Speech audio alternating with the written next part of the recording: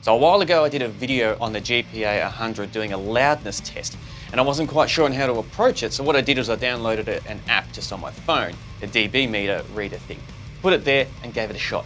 But I actually wasn't that confident even while making the video how precise it would be um, or what you could get out of it. But someone was very cool in the comments to kind of give me a bit of a guideline and a bit of a breakdown on things I could do to, to make it a little bit more um, translatable for not only myself, but everyone there.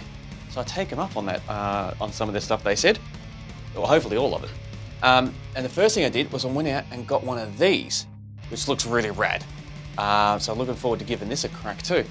Um, so we can get a, a, decent, if not precise, uh, loudness of, of how the amp is. And instead of just doing that one amp there again, I thought, let's push it a little bit more.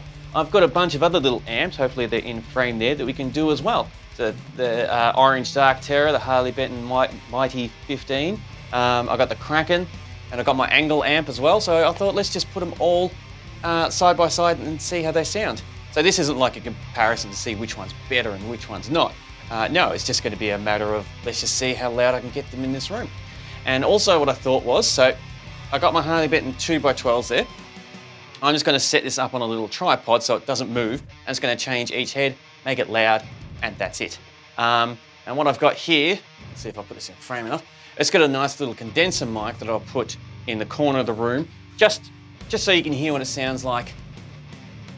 Well, you're not going to get a good representation because it's not right near it's loud, but just for something.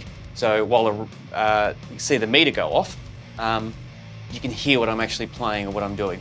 And um, I'm just in the mood now to use the Fortin 33. So everything's going to be really um, djented up. So you've been, not so much you've been warned, but you know, don't, don't be surprised when you hear a very, very djenty sound. So let me set all this stuff up. Let's start recording them back to back. And I actually, actually got another idea that might work. Um, but I'll leave that for the end one. So watch through until the very last one. Uh, for the next probably, I don't know, probably take about a minute. And then we'll have a bit of a chat about it uh, at the end.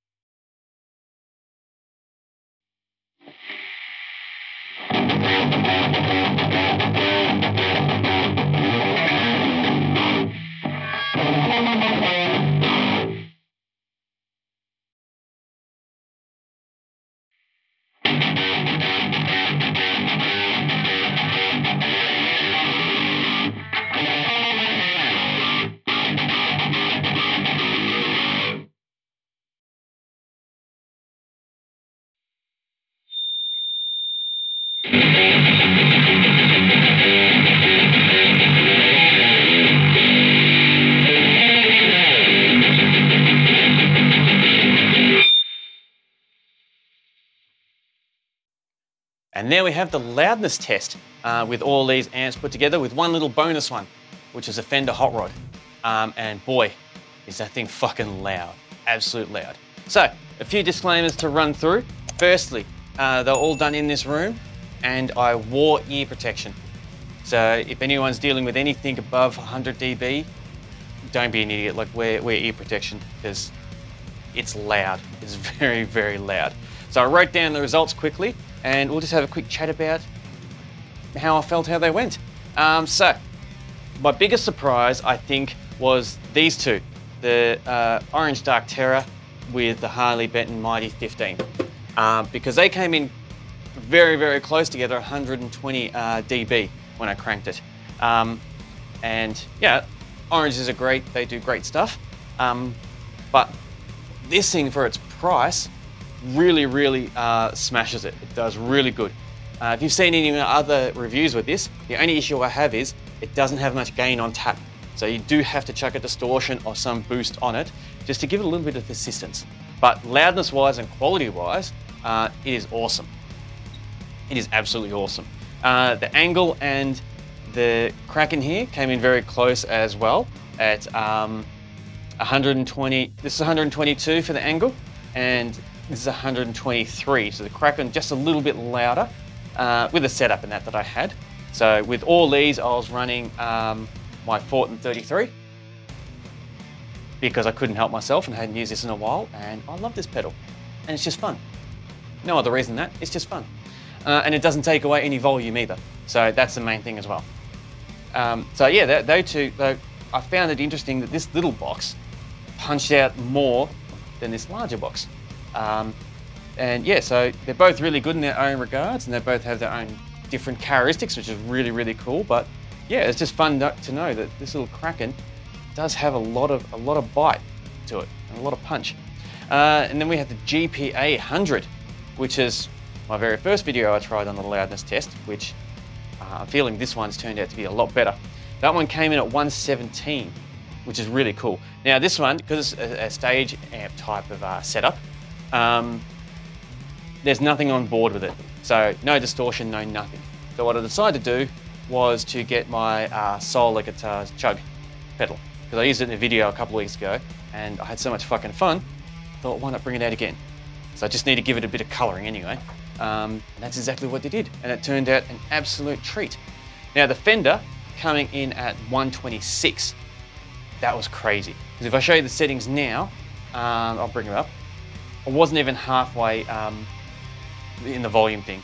It was like, even with my ear protection, it was still starting to get a bit painful um, and extremely sensitive because I couldn't actually get far away enough from the amp before it started just feeding back like crazy.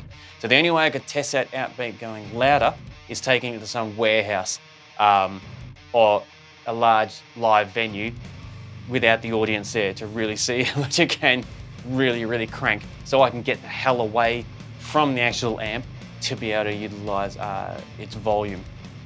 But that is a beast the Fender Hot Rod, an absolute fucking beast of an amp. I used it 10 years live, so um, I always knew it was loud and it was very sensitive its volume, but I've never tested it like I did today, and oh boy, it is loud.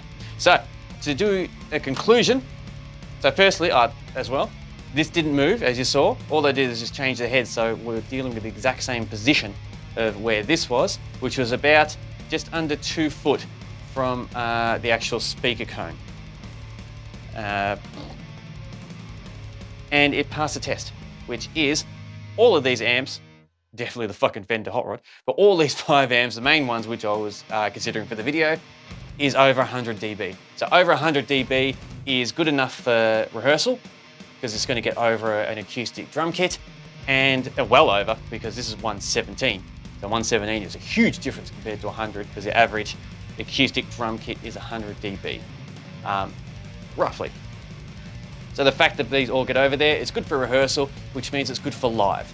Because live, you're either going to um, hear it on stage or you're going to mic it up anyway, but you'll still be able to hear it on stage anyway, which is the main thing. Um, gone are the days where you had to mic up a, um, or you needed a amp, sorry, and combo setup to be able to reach the end of the actual venue everything's mic'd up these days, and it should be, because you, you, want sound control and quality, not just blaring it so the person at the very back can hear it, and the first 30 rows are just going deaf. Uh, no. it's not how it is these days, not like the 70s. Um, so there you have it. There's our little sound test. Hope you enjoyed it. I'm definitely keen to hear your thoughts on how you felt how it all uh, went and how it did it. Um, now keep in mind, the room mic was just there purely just to have some sound going through so you could hear a bit of my playing while I was capturing it to see the dial move. Um, that was just a condenser mic I just chucked in the, in the corner there just to capture it. Um, but I did have to turn the Fender one down because that, uh, when I had that running, it peaked straight away. So I had to go to my mixing desk and turn that one down, but it was still brutally, brutally loud. So definitely keen for your thoughts in the comments and I thoroughly look forward to chatting with you next time. And until then, stay safe. I feel like I'm a little bit too far away from the camera, my usual uh, goodbye thing here. But we do what we work with.